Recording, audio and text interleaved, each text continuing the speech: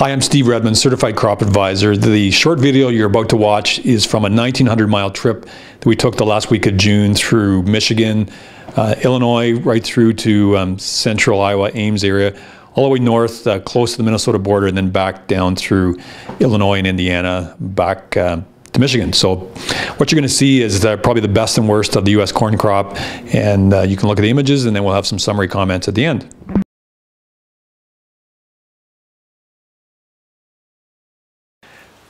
Today we're in central Illinois, just east of Peoria, in, uh, at the farm of Jim Zare, uh, looking at some corn. Actually planted the uh, beginning of May, so here we had quite a bit of rainfall in April. Uh, so the, this wasn't April planted, but uh, early May. We have a corn, uh, this corn is at the V8 to V9 stage, so really nice height. We've done, dug up some plants. Jim has about 33,000 uh, plant population here. He tried to drop a strong 34. We've got great corn planter performance here. So we have a final stand right now of about 33,000 uh, plants per acre. So the root system looks great. So we had some wet soils in May, but we still have uh, this root I, we probably chopped off, but uh, we have uh, a really nice uh, root system developing here. No compaction, the roots are going down deep. So this field, if we Jim's average here is close to 200. If we have a decent July and August, have some more moisture at pollination, and then through August, this corn should definitely make trend lines, so we should be looking at a, a good uh, 200 bushel corn crop.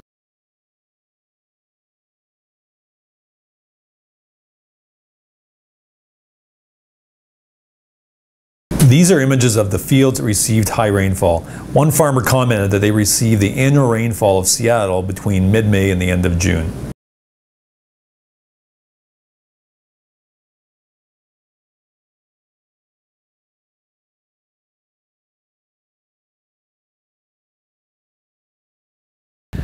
So we're now in north central Iowa looking at uh, some of the water damaged areas where there's a lot of unseeded acres. This is pretty typical of what we've seen for mile after mile as we came north of Ames. So this corn plant in my left hand or my right hand was planted uh, about the first week of May. It's about that V6, V7 stage, which is pretty normal. Uh, this this corn plant has potential to still uh, follow trendline yields. So we're talking in this area 180 to 200 bushels. But many fields have corn plants that are at this stage, so very yellow. You can see over my shoulder there's areas where there's very few plants.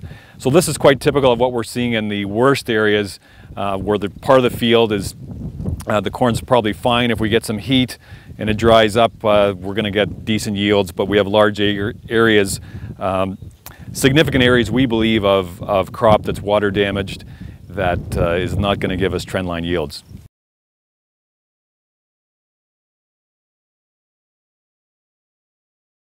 Of course, with high rainfall comes soil erosion, and we passed many fields with topsoil that had moved from hills and mid-slopes into low-lying areas, causing further damage to the corn crop.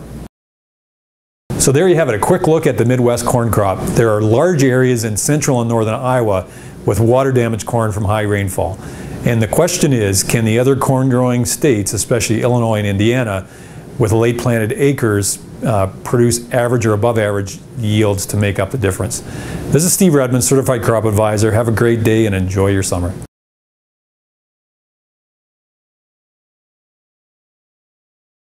This video is brought to you by Farms.com.